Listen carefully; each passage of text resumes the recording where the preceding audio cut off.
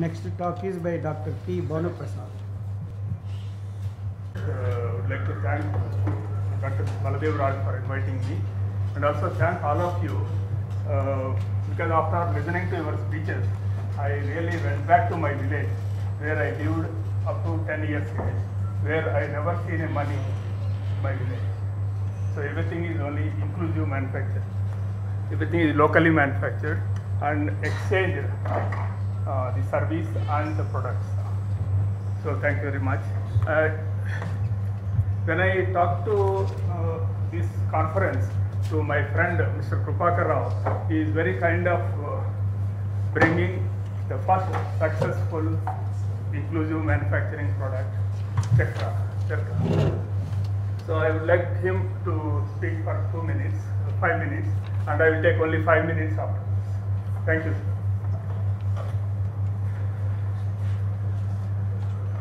I request all of you to revisit uh, J.C. Kumarappa as he published this book as organizer and secretary of the All India Village Industries Association and uh, his work started in 1920 and then by 1930 this charka was uh, designed and developed in the jail. And uh, Mahatma Gandhi could not only provide uh, some economic benefit across the country to particularly to the human flow using their spare time, very inclusive innovation and then very effectively implemented again across the country and this united the people and the call was to fight for the freedom. Today after 100 years, I think the nation is again having similar agenda. Again we are we are so badly divided and we are so badly balanced. Very rich people, very poor people, inclusiveness is totally missing. So again, you are you are all here, this here to provide inclusiveness, particularly in the manufacturing. So my humble request is maybe inputs from here, a non-violent economy, an economic approach which doesn't exploit anybody. So the PDFs are available online and uh, forum uh, website also they were kind enough to accommodate these things in future. And uh, one more.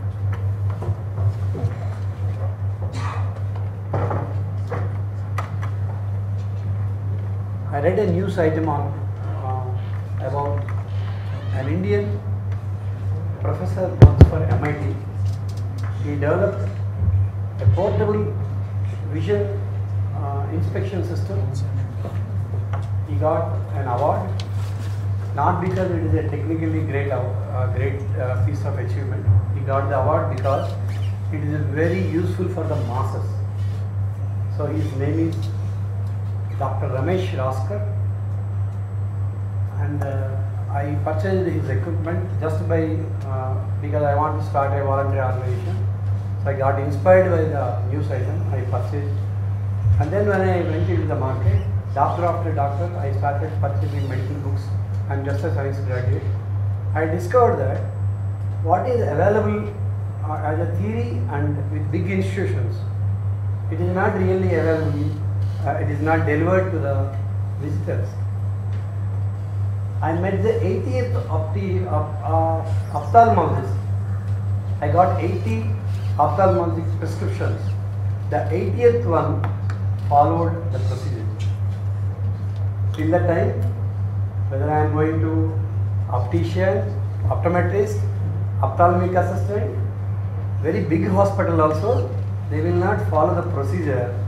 They will just look at me and take my um, uh, my observation, my preference of lens, and then they will, write the prescription.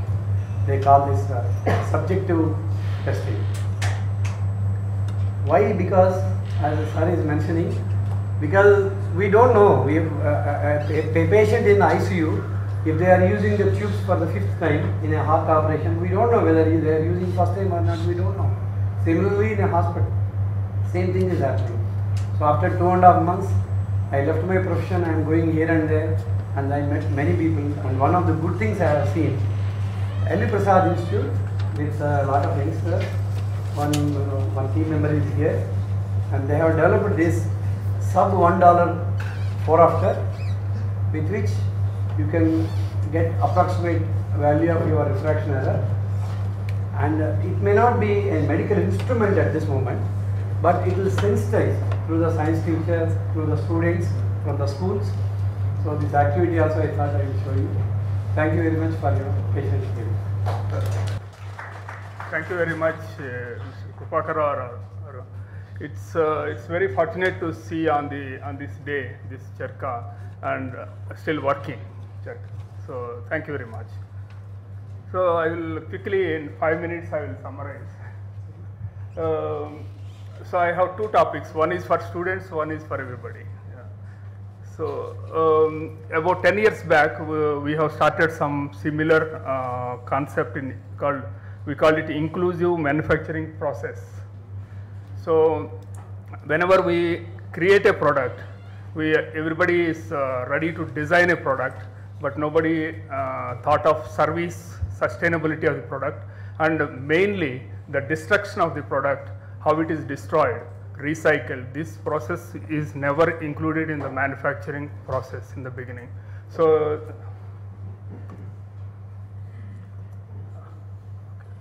Uh, I, I am uh, expertise in machine vision, augmented reality, and virtual reality. These are the three topics. I would like to present uh, today these three uh, domains of expertise, how it will be useful in inclusive manufacturing. The first one is machine vision. So whenever you introduce a new product uh, to produce, especially in the rural areas, it's extremely difficult. The first thing what we need to do is a training uh, that is what we use uh, by using augmented reality and virtual reality. I'll show you some of the videos later. And the second one is uh, when you are making products in a series, uh, either by using augmented reality or machine vision. Uh, if you are, if you are making only few products, then you can use augmented reality to make the quality control. So augmented reality glasses you can wear them, and then it will guide you step by step so that you can validate the product and process.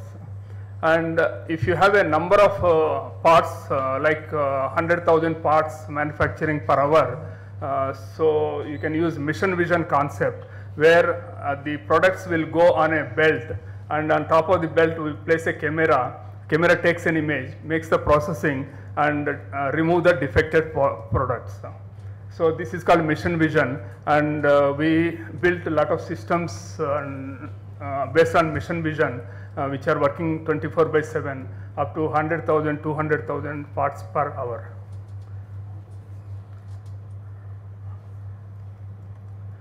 Uh, so regarding augmented reality and virtual reality, the virtuality, virtual reality uh, glasses looks just like this one. This is a low, very low cost one and the high cost will be HoloLens which will be around 3 lakhs. So we have a program inside that depending on the product. So the complete training com using the interactivity. Um, I'll show you the video at the end. So there is a small device attached to this virtual device monitor and then you wear this on your eyes and then with interactively you can manipulate the product. For example, if you take a car engine, you can open the engine each part by part, you can turn over, look at it and fix it back.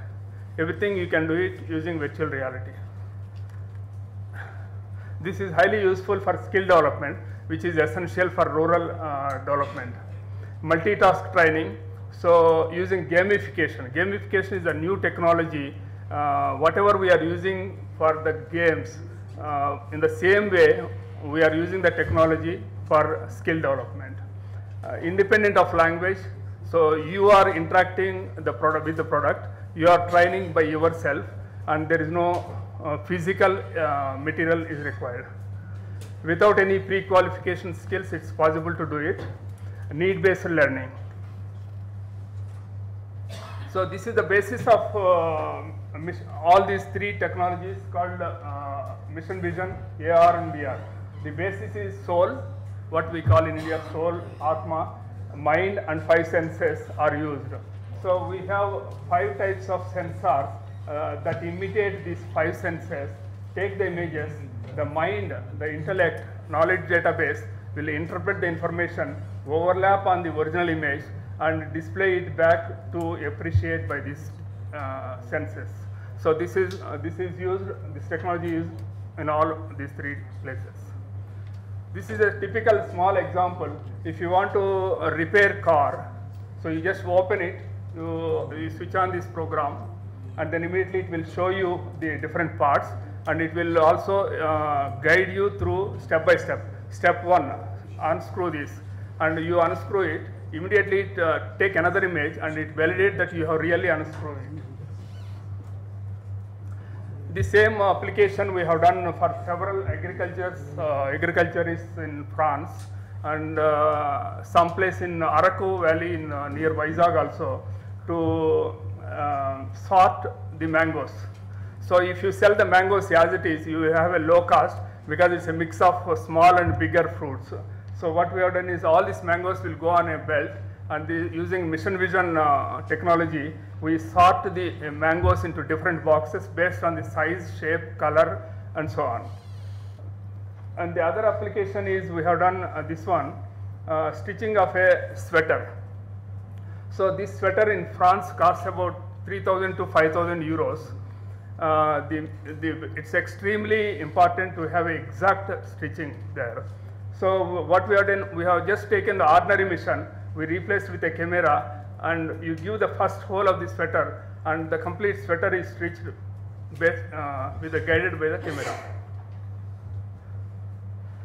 So for inclusive manufacturing, what we thought is we need to redesign the products.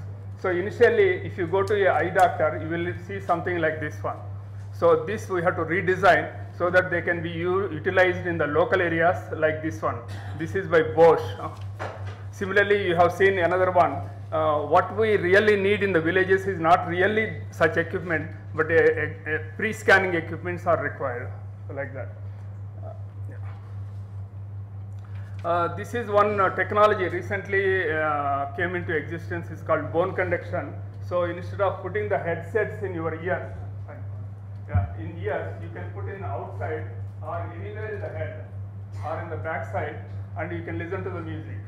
So I tested this one on 10 uh, completely deaf people, five uh, elder people like uh, 50 to 60 age, and five children, and on all five uh, five elderly people, they told me they are listening the voice like they have the voice at the teenage.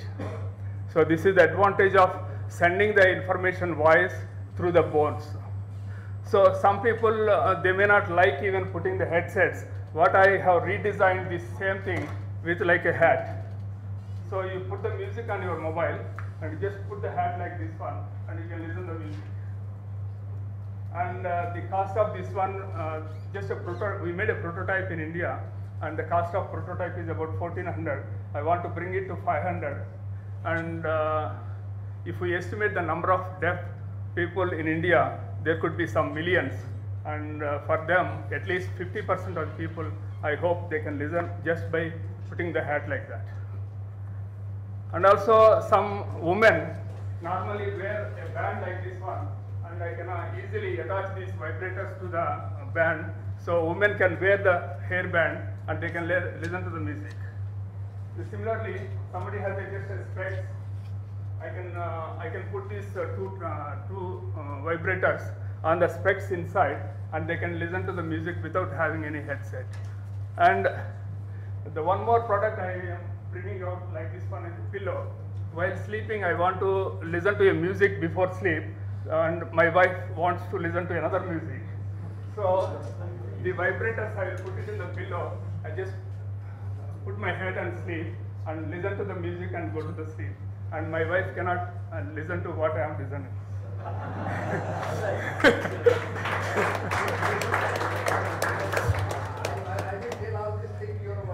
Yeah, sure, sure, sure. Sir, another three minutes. Very fast. Already crossed. uh, Across, okay, Mm, mm. I'll remove it. Yeah. I'll just show the videos and then uh, recycling uh, we'll discuss during the coffee. Uh, this is how it looks like in uh, virtual reality. So with your hands you are manipulating, you take out the part, you turn it out and put it back again. You can also see the operation, put like this one, and the operation you can do it how it manipulating. Even at the design state, if you have a 3D model, we can easily reconstruct in few days this virtual reality film uh, where you can test your design before you manufacture it.